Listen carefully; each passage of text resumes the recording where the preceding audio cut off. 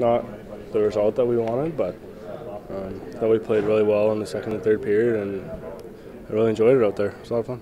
You looked really comfortable. I mean, did it, like you said before the game, you're just going to take it like shift by shift, play by play? Did it just kind of do that to keep it simple? Yeah, um, like first couple shifts, I was not really sure what to expect, and then it's a lot like preseason really. So played tons of preseason games, so I just kept working at it and kept trying to get better every shift.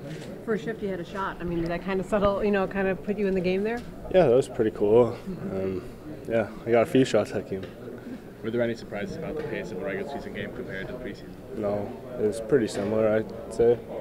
Um, just you don't have those players who aren't going to be in the lineup every game. Like there's those in the preseason, there's always those players that aren't regular NHLers, and here everyone's regular, so everyone's super good and skilled.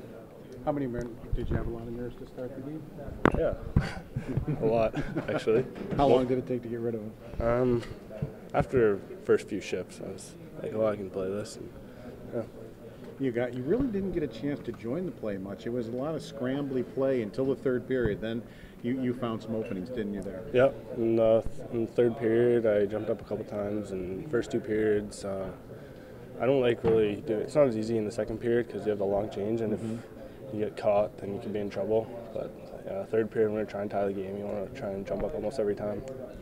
Speaking of trouble, you didn't seem to get into much in this game. It seemed like you played a pretty calm game out there. And how, how did you feel about it? Yeah, that's uh, that's one of the main traits of my game is uh, simple, easy, um, not complicated game. So that's just um, it's easy to, easy to do out there with all those good players.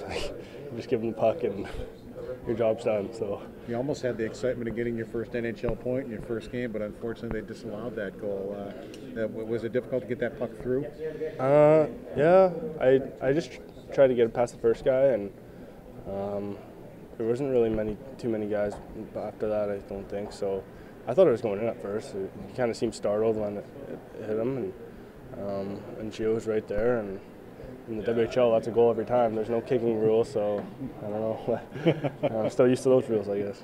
Um, you know what he, I think I think you said it right there. I mean, it's his patience. He didn't he didn't show any panic, any any puck retrievals in the offensive zone. He was moving around like he would be playing in juniors. It felt like, and um, you know, coming into you know D zone situations, he was comfortable. He was talking, and um, you know, you can't ask for more than that uh, from a kid coming out of juniors.